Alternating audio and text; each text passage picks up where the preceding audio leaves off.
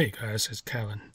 We have ET8550 member here. Then we have 15,000 member here. In previous video, I showed you how to test those capacitors.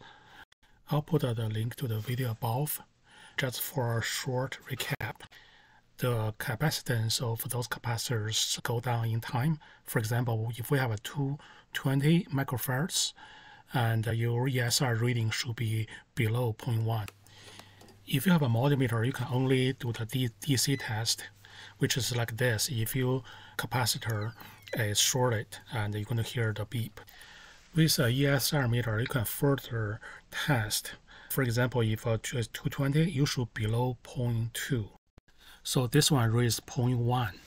And if we look at 220 microfarads, and this is good capacitor. If you suspect it's bad, how you're going to replace them? And you have to find out what kind of capacitor it is. The black side is the negative, and the silver side is positive. Take a picture of the mainboard, or just remember the negative is always connected to the ground. If you put a multimeter between this and the ground, it should beep. CD is the model number. This is CD. And that one is CD. And this little one is also CD, although it's smaller. 220 is the capacitance, and that means uh, 220 microfarads. And this H represents the voltage. And for a lookup chart, we can go to bchtechnology.com and uh, search for 220. There's 220C, 220H, and 220A. And for the second picture, it's going to show you a chart of the voltage. So 220A means uh, 10 volts, and uh, 220C means 16 volts. The one we saw is 220H. That means that one can go 50 volts. This line is the batch number. Uh, that's when they made this capacitor. And then there's a logo here, and the smaller one doesn't have a logo. Okay, I just covered how to test and find the replacement parts. And now Abby going to show you how to take it off. Hey guys, it's Abby here. I'm going to be showing you how to take off this SMD aluminum capacitor.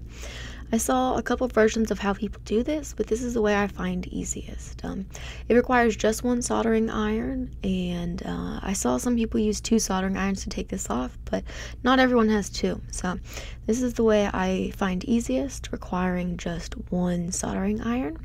First, I drop down a good amount of lead onto one of the legs.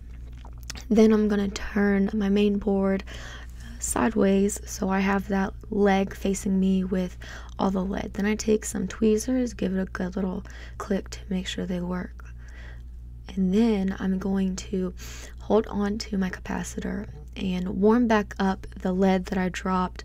And as I'm going to start slowly tipping back the capacitor towards the leg that has no lead drop down on it. This is going to release that first leg that I'm working on here.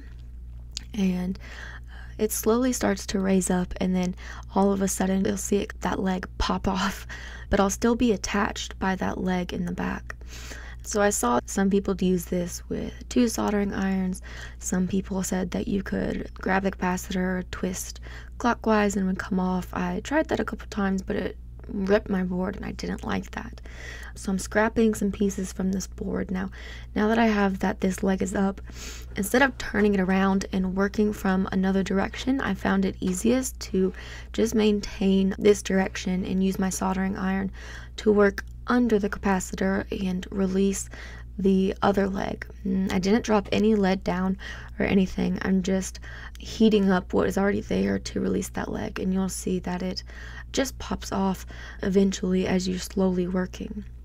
So again, I found this to be the easiest way where I really didn't heat up too much of that black bottom base. That black bottom base is just plastic, so any extreme heat is going to burn it. And that black base, technically you do not have to have it, it just helps create any resistance from vibrating on the board.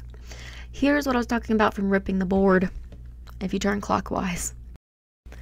Alrighty everybody, we hope that you enjoyed this video. You can visit us at bchtechnologies.com or you can visit us locally here in Greensboro, North Carolina. Happy printing, everyone!